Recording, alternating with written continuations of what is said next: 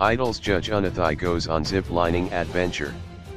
Unathi has decided to expand her horizons as she goes on a zipline.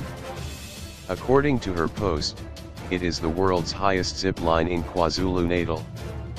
She also mentioned they jumped over a waterfall and she had to cry for at least 20 minutes before she was able to do it.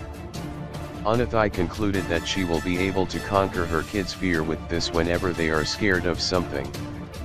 Unathi captioned, the world's highest gorge swing is in KZN. We did that, we jumped over a waterfall. I cried for at least 20 minutes before I jumped, but I'm so competitive I couldn't let the team do it without me.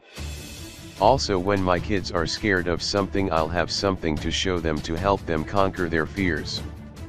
The DJ took to her Instagram to share pictures of some of the beautiful moments she had.